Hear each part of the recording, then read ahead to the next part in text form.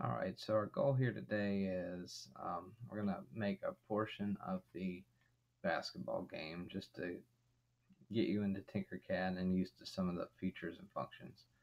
Uh, what we're going to do is we're going to start by making the hoop. You can see up here in the drawing, two and a half inches um, by two and a half inches with a one and a quarter radius up here in the front, a uh, one and a half inch diameter circle right smack in the center that we'll cut through there and then uh, we're going to do the backboard with the hole where the pole would be placed into it. So let's start with the hoop. Um, so you can go into Tinkercad, uh, create a new drawing. First thing we want to do is always gives us a crazy name. Change that to basketball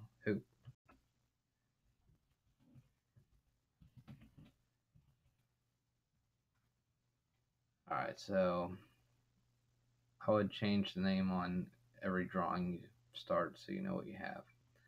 Uh, we need to change this over to inches. So down the bottom right hand corner here, you can see the snap grid set to millimeters. We need to change that to inches. We need to hit the edit grid button. We're going to change this from millimeters to inches and we need to update grid. Uh, so the snap grid whatever we do, anytime you use the arrow keys or drag something, uh, it's going to go by whatever the snap grid set to. In this case, it's an eighth of an inch. So for the hoop, we're going to need two different shapes. First, let's go ahead and pull out um, a cylinder. Just click and bring it on out. Click again to drop it. Right now, it has 20 sides. To make it look more round, we're going to take the sides and drag those clear up as high as it'll go, which should be 64. And we can show or hide that panel. Um, now that it's at 64, I'm going to hide that for now. The other thing that we're going to need is the ruler. So the upper right hand corner here to the ruler, click once and just place it somewhere down in the lower left hand corner. That way um, units should look the same as what I have. So we have our x coordinate here, our y coordinate here, and our z here. So if you rotate a little bit, you can see what's what a little bit better. Uh, we need to change this to, and again, so you can see, we're going to do two and a half by two and a half first of all, and then it's going to be a half inch tall. So let's do two and a half, and Tinkercad will not take fractions, so you got to put in decimal form. So by changing x and y to be the same, now what we have is uh, an actual circle. Also, um, you can click on the little, uh, I forget exactly what they call this thing, but the cube up here, uh, you can click and hold and rotate around. You can click on certain sides to see, you know, just that view. One thing I'd like to do at the moment, under the cube here, we have home view, fit to selection, zoom in, zoom out, switch to orthographic view. Please click it so it switches to the orthographic view. Okay. Now the difference is we're looking straight on to this. When we're in perspective view, uh, we're looking at a little bit of an angle to it where orthographic we're not. So be on the top view and in orthographic. So the last thing we need to do is make this a half inch. So instead of 1, we'll do 0.5, enter. And I rotate a little bit here, there we go.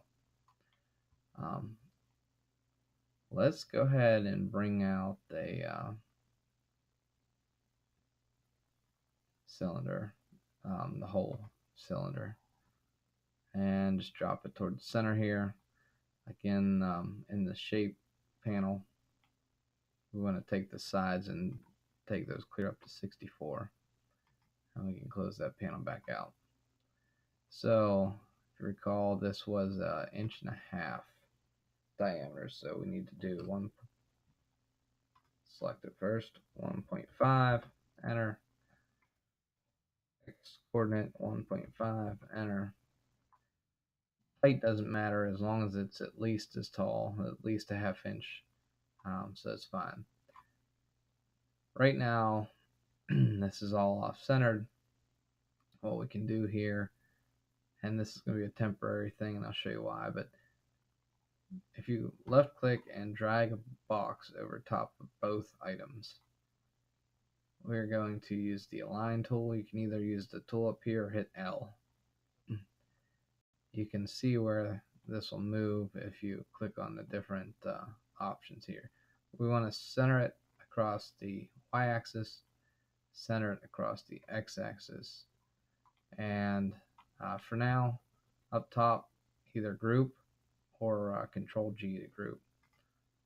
That will give us our hole and part of what's going to be our hoop. now we need a box. So grab a box, bring it on out.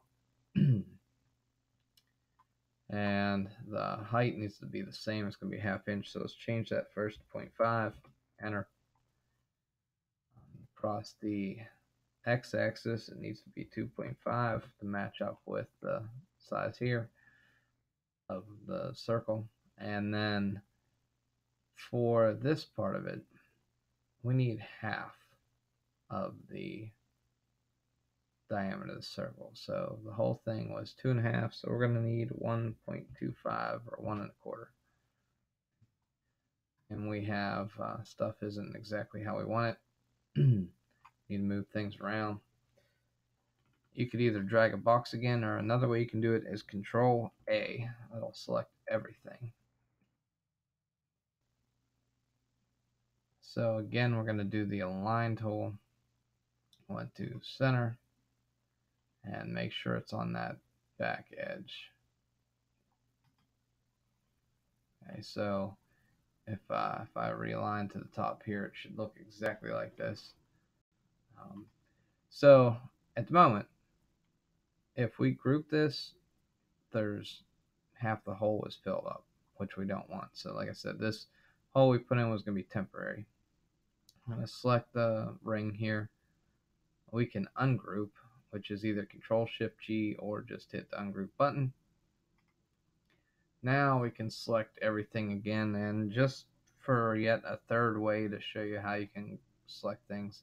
If I click on one item, hold the Shift key down, click on the next item and the third item, or I could do Control A or I could drag a box, but just so you know, if, if you hold Shift, you can select multiple items. You don't have to do all of them. And now we will group this together. And there's our hoop. So pretty quick and easy here. Um, it's exactly to scale, everything the way we want it. This is actually how we made it uh, and took this and exported it for the laser cutter. And that's how we've been making the hoops for class. But um, for this part, we're going to leave that be. We're going to add in the backboard and put the hole in the backboard just to show you a couple additional things. So bring over a box and just drop it out here in space. And just to take a look here, we need four inches tall, five and three quarters wide, and three quarters deep. So this would be our Z, our X, and our Y. Let's go ahead and start with the Z axis, why not? So 4 inches even. 47. Zoom out a little bit. Again, the buttons over here, if you're on the Chromebook, might be a little bit easier. Uh, our depth was 3 quarters or 0.75. Enter. And our width was 5 and 3 quarters or 5.75 there is backboard. Um, I don't want to group the hoop and the backboard yet because we're going to put a hole into the bottom of it. And if we do that, when we try to use the align tool, it's going to throw stuff off. So when we're using the align tool, you do need to kind of plan out how things are going to go together. And if, if you accidentally get something that can't be aligned right, you can always ungroup align what you need to and regroup the objects. So not that big of a deal. But Um, so at the moment here, we need to see the bottom of this. So I can use the little cube over here and click on the bottom. We're going to place a hole right down the center here. So um, the cylindrical hole, drag it on out, drop it where it looks like it's kind of in the center of the backboard. And just to show you here, under the cube, the second button down, fit view to selection, is a handy tool sometimes here. So um, let's change this so the sides are 64. It's nice and much rounder. And we want this to be a 3 8 diameter hole, and it's going to end up being a half inch deep. So there's no diameter tool, which we saw earlier, so we need to make 3 8 here on the y-axis, 3 8 on the x-axis, and then we'll have to do the half inch on our z-axis. So 3 8 I'll save you the time, it's 0.375, enter. Same thing here, 0.375, enter. There's that, and then we need our z-axis to be a half inch or 0.5, enter. So at this very moment, see that uh, the hole is facing the right direction. Um, that just, it works out well here. Um, because it wants to sit on top of our work plane or this blue area. And if I move it a bit here, you can even see it says work plane. Alright, so we want to select the hole. I have selected, hold down shift and select backboard. Do not get the hoop, just backboard and hole. Align tool, align button or the L key. We want to center across the X, center across the Y. And since it's already set everything the way we want it, um, just straight group it. There's our half inch deep hole. The last thing we need to do is get the backboard and the um, hoop lined up together. So, handy dandy trick to do that. I'm going to take work plane, drop it on the front of the backboard. So it should look just like that. Now, we're going to take the hoop, you're going to hit the letter D as in dog. Um, will drop it down to the work plane. Okay. So uh, absolutely wonderful tool right there.